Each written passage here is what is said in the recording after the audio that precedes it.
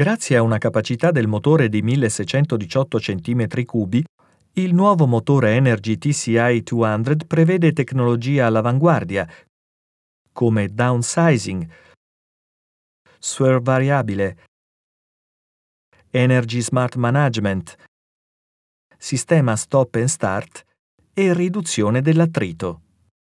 I costi di utilizzo del motore M5MT sono ridotti grazie a un basso consumo di carburante, emissioni esigue di CO2 e costi di manutenzione inferiori legati alla catena di distribuzione.